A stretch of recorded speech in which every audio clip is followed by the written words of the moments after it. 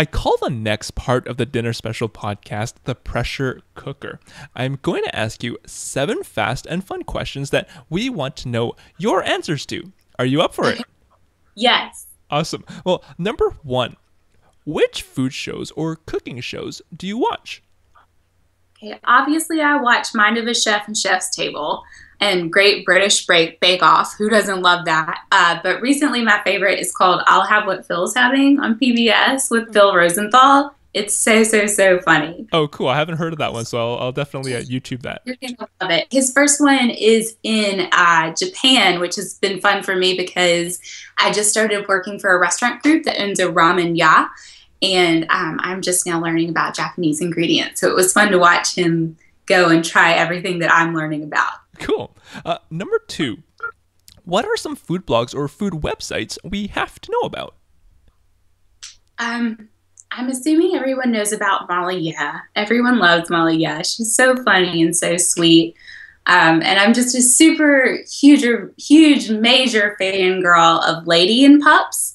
Uh, I like her brutal honesty. I like that she has a series called Shits I Eat When I'm By Myself.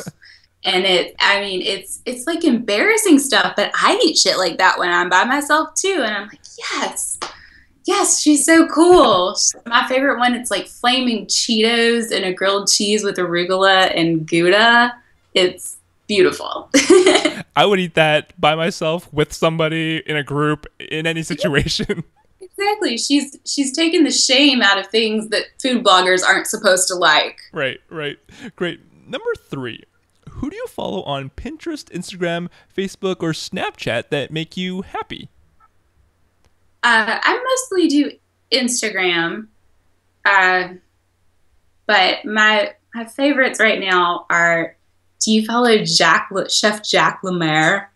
I it's s- really some of the best satire our generation has ever seen. Yeah. Um, and then there's another one called Kimi Swimmy and I saw her via Munchies on Vice, and they say that she kills octopus with her bare teeth. Wow. Super major badass bitch. She's, I mean, like everything I hope to be in life. awesome.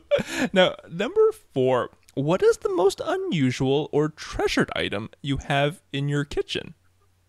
So it's not very unusual, but I have this marble rolling pin that I bought at a thrift store years ago for $10.